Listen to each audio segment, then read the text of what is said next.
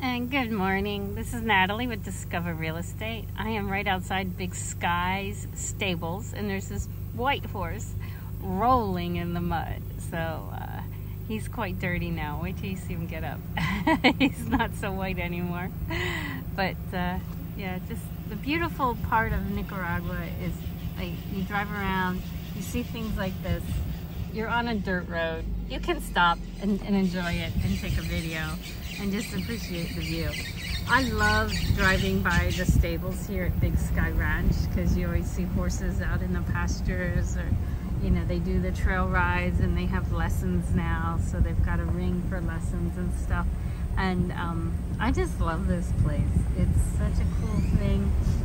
So they've got the equipment there drying out the saddle pads after riding, they get all sweaty, so it's nice to hang them out in the sun and let them dry out.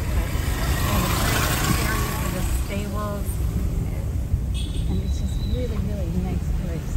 So I love my life. Come join me.